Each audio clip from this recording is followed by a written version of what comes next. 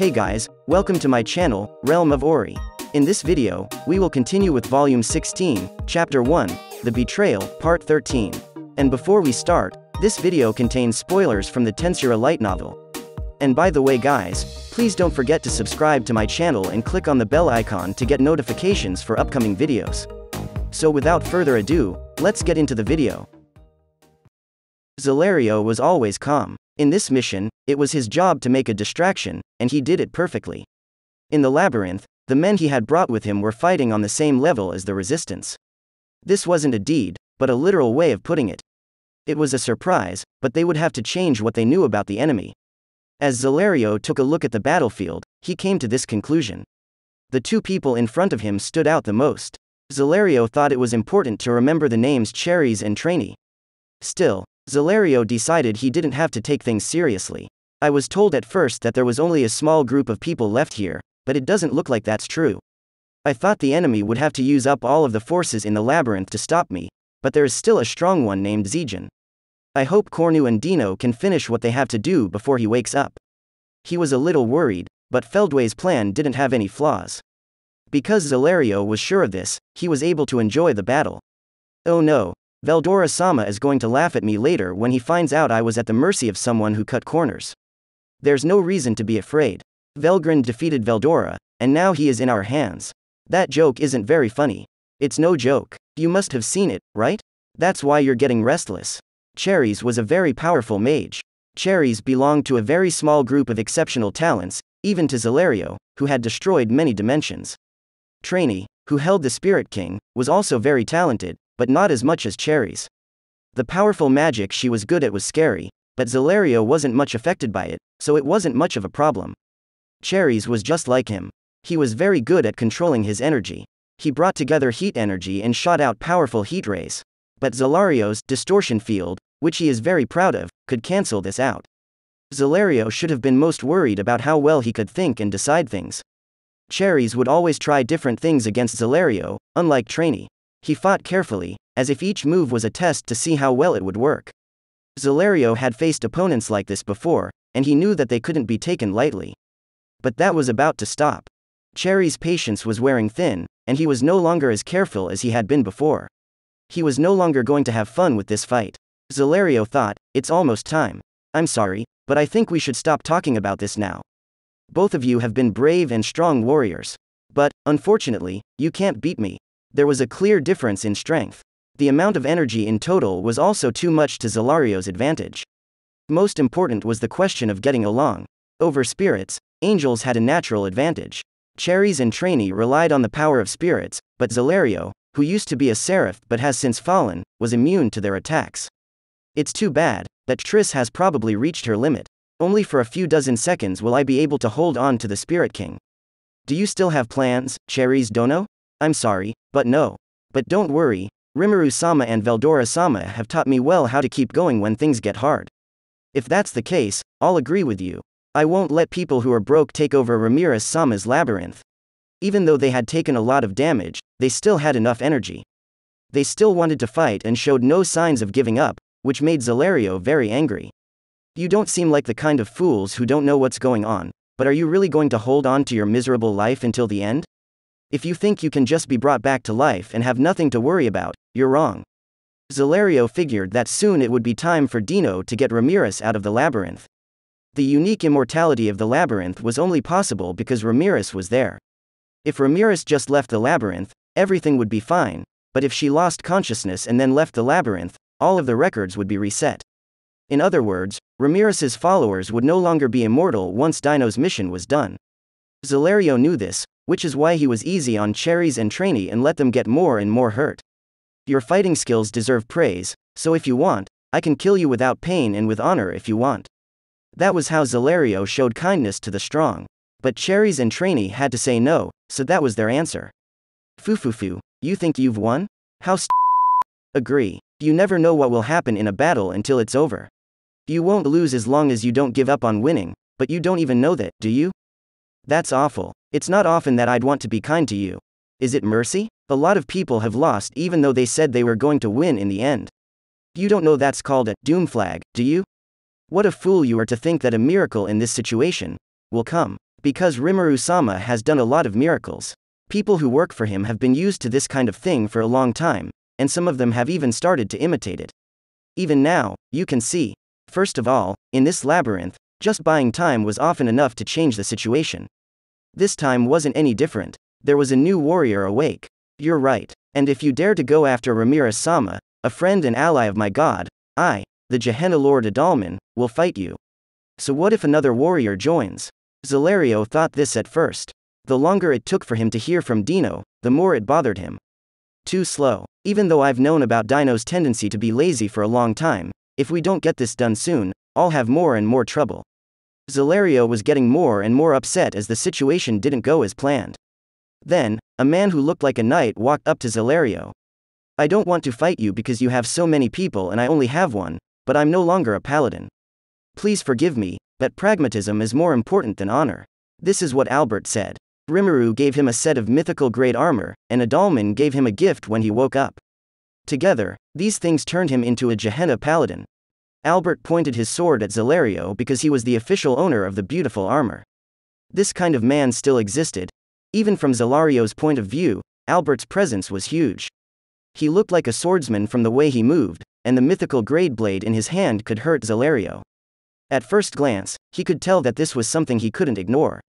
I'm also here. That voice belonged to Wenti, the Hell Dragon King, who had woken up from her evolutionary sleep to become a Gehenna dragon. Wenti bowed gracefully now that she knew where she had learned it. As soon as Zalario realized he was at a disadvantage, his face went blank. Even with these problems, he should still be able to do it. That wasn't the point, though. Zalario couldn't win unless Dino did something about Ramiris. Even if I were to use this opportunity to show the enemy my true potential, all that would happen is expose my hand. But if I don't do that, it won't be enough to deal with these guys. Zalario decided what to do. If it were just Cherries and Treyni, he could control himself around them. But if three powerful awakened demon lords joined the fight, even Zalario would have a hard time. Feldway's plan would fail if Zalario didn't act as a distraction here. Zalario could not accept this because he was proud of the fact that he had never failed a mission, it can't be helped. All of them are going to die anyway, so let's show them how strong I really am. Just when Zalario was about to decide. Yes, I'll tell you a story that you might find interesting. The 70 levels of the labyrinth are my realm of protection, so why do you suppose I disregarded the intruders there? What? I don't want to keep you waiting, so I'll give you the answer quickly. Because there was no longer any reason for me to be there. What do you want to say? Adalman, who was a skeleton dressed as a saint, smiled and laughed in a mean way. This made Zalario feel bad, so he asked again. Wait a minute, what is he saying? He has no reason to be there. Does this mean that something bad happened to Cornu during the intrusion? Zalario knew the truth before he heard the answer. Adalman's real goal, though, was to make Zalario doubt himself, so he told him in person what had happened on the 70th level. Velgrynd Sama has killed that fool who broke in. That's why I felt like I could trust you and talk to you. Huh, I see. Cornu can't beat Velgrynd, so he doesn't stand a chance. Many strange things seem to be going on, but they should still be fixed. So, you've sent the rest of your small army to fight for me? Cornu is also unlucky. If he had stuck to his original plan and not switched roles with me, none of this would have happened. However, I can simply ignore Velgrynd. She is easy to control when Michael Sama is around. What's more important right now? So that you can pay. So, you're strong enough to fight Velgrynd Sama. I hate to say it, but it seems like people have really underrated us. You're right. Even if we all worked together, there's a good chance we'd still lose. Both of them could tell from the way Zalario was acting that he was hiding some amazing skills but Adalman and the others still had the upper hand. Adalman explained why this is the case. I already know what you want to ask me. You really want to find Ramiris Sama, right? But we have been told to put Ramiris Sama's safety first and make sure she is safe at all times. Adalman had first made sure that Ramiris was safe when he woke up from his evolutionary sleep. If Ramiris was safe, everything else would be fine, of course. Rimuru's order was the most important thing. Adalman and the other Guardians' main job was to keep the labyrinth safe. In other words, they had to make sure Ramiris was safe. Ramiris Sama is safe then, right? Of course, Treyni Dono. Zegion Dono is coming, so no one will be able to touch Ramiris Sama no matter how many people are there. Oh, I see. That's good to know. Treyni smiled. The others did the same, and they all looked relieved. Now they didn't have to worry about anything but Zalario. About Zalario. He felt like Dino had failed all over again when Zegion's name was brought up. Right? Zegion was the only one who could use distortion field. But if Dino really fights, no, you can't expect much from him. He didn't want to go on this mission from the start, so he's probably long gone by now. Zalario had a good idea of how things were right now. A telepathy net came from Dino, as if it had been sent there just for that moment. I know you can hear me, Zalario. The goal has not been reached. It looks like Cornu made a mistake when Velgrynd joined the fight. I also have a bad guy on my side, so I'm going to back off now. You should leave before the labyrinth shuts down. See ya. Zalario couldn't help but laugh bitterly because it was so one sided. Zalario thought to himself that Dino would do something like this, so he also decided to run away. Since victory was no longer important at this point, it made sense to avoid doing anything else that wasn't necessary. This is the first time in my life that I've had to retreat when my enemies are just a few stragglers who could be easily swept away. Remember that there won't be a next time. Zalario told his men that he was sorry and then teleported away from the labyrinth with them. Those who stayed behind didn't feel like winners for long, but they did enjoy the peace of mind that came with having defended the labyrinth well. The danger was no longer in the labyrinth. After releasing the world of illusion skill, Zegion turned to face Beretta, who had just completed placing Ramiris on the couch. Has Dino Dono gotten away? It seems that way. Ho ho ho, you're being too humble. Only because Ramiris Sama was kind did he get away.